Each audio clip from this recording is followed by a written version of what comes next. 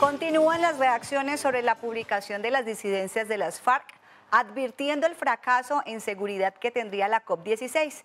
El ministro de Defensa y la gobernadora del Valle del Cauca respondieron.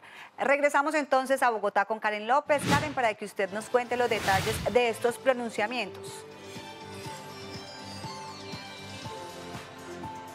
Gigi, así es. Y es que, mire, luego de estos mensajes, pues la preocupación salió a flote, tanto así que el comité organizador de la COP16 emitieron el siguiente comunicado en donde en cinco puntos aclaran a la opinión pública las garantías que desde el gobierno nacional, departamental y municipal se están organizando para tener un entorno seguro y protegido durante el evento. El ministro de Defensa también se pronunció asegurando que desde el momento cero en que se le entregó la sede a la ciudad de Cali, se están realizando los estudios previos para garantizar la seguridad del evento. Pero lo que puedo afirmar para la ciudad de Cali y para todos los interesados en la COP16 es que habrá seguridad suficiente y con todas las capacidades está en un compromiso del gobierno.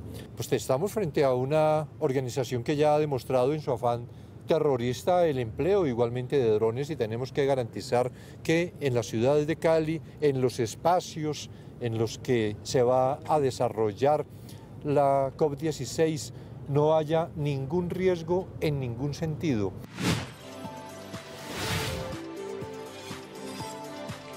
Por su parte, la gobernadora del Valle del Cauca, Dilian Francisca Toro, aseguró que aunque estas reacciones por parte de las FARC se dieron luego del anuncio del Ministerio de Defensa de dar por terminado el cese al fuego con este grupo armado, esto era una solicitud de varios gobernadores que le venían haciendo al gobierno nacional pues por las constantes violaciones a los derechos humanos que se vienen registrando en todo el país por parte de estos actores armados. Sin embargo, fue enfática en asegurar que el trabajo de región que se viene realizando es para dar las garantías de seguridad del evento de biodiversidad más importante del mundo.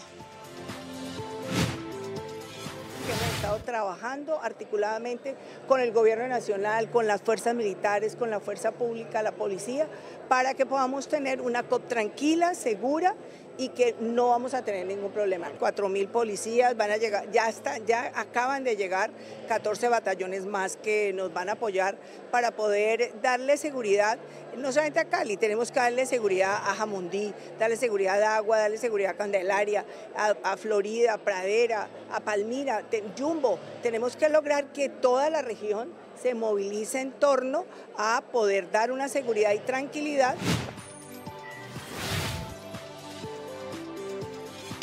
mañana la cúpula militar viajará a la ciudad de Cali para revisar los dispositivos de seguridad junto a las Naciones Unidas. Y el próximo lunes ya se hablará públicamente sobre los avances de medidas de seguridad en este sentido. A propósito de este tema, el componente del Departamento de Naciones Unidas será el responsable de la seguridad dentro del centro de eventos, epicentro de la COP16. Así lo dio a conocer el delegado del Ministerio de Defensa como apoyo a la Policía Nacional. Es decir, la seguridad exterior si le corresponde al país anfitrión. el personal que va a apoyar la seguridad dentro del centro de eventos también va a contar con un personal de policía de la Dirección de Protección y Servicios Especiales, el cual, de acuerdo con el respeto a las garantías e inmunidades diplomáticas de una sede de Naciones Unidas, va a prestar su servicio de seguridad en apoyo a la al Departamento de Seguridad de las Naciones Unidas sin uniforme y sin armamento en un escenario de coordinación que está establecido a través de un memorando de entendimiento que está en este momento en negociación entre Naciones Unidas y el Ministerio de Defensa Nacional como líder del subcomité técnico de seguridad y ciberseguridad para la COP16. Es toda la información desde la capital de nuestro país. Este es un informe de Karen López para Telepacífico Noticias, la región todos los días. Gigi, ustedes tienen más.